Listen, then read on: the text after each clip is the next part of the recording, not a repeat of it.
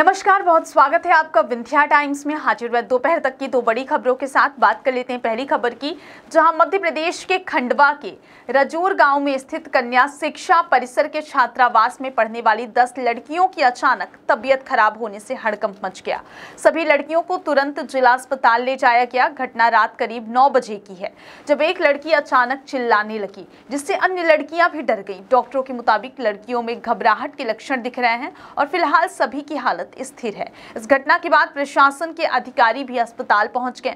दरअसल घटना रात करीब नौ बजे की है, जब एक लड़की अचानक चीखने लगी, जिससे बाकी लड़कियाँ भी डर गई। इस घबराहट के चलते हॉस्टल वार्डन ने उन्हें स्वास्थ्य जाँच के लिए खंडवा जिला अस्पताल में भर्ती कराया है, जहाँ अस्पताल के डॉक्टरों ने बताया कि सभी लड़कियों की हालत ठीक है, चिंता की कोई बात नहीं है, फ़ूड प्वाइजनिंग का कोई मामला नहीं है, क्योंकि ऐसे लक्षण नहीं मिले हैं। एक लड़की की तबीयत ज़्यादा खराब होने के कारण उसका स्वास्थ्य परीक्षण परीक्षण किया जा रहा है।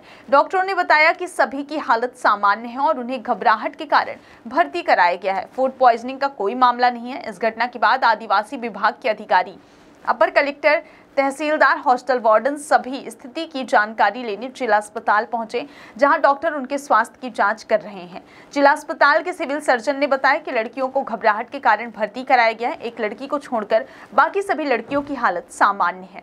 बात करते हैं अगली खबर की, जहाँ मध्य प्रदेश के पूर्व मुख्यमंत्री और भारत सरकार के केंद्रीय कृषि मंत्री शिवराज सिंह चौहान अपने लोकसभा क्षेत्र के दौरे के अंतर्गत इछावर विधानसभा में किसानों को और भाजपा कार्यकर्ताओं को संबोधित करने पहुँचे।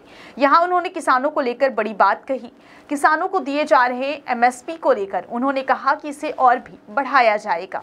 उन्होंने कहा कि तेल के दाम अभी और बढ़ेंगे क्योंकि सस्ता तेल आ गया है। अभी हमने इम्पोर्ट ड्यूटी लगा दी है तो इससे तेल के दाम और बढ़ेंगे। इसके लिए हमें तैयार रहना चाहिए। शिवराज सिंह किसानों को संबोधित करते हुए अचानक स्टेज पर लड़खड़ा गए। इस पर उन्होंने मज़ाक में कहा कि मेरा वज़न तो कम है, लेकिन जनता का वज़न बहुत ज़्यादा है।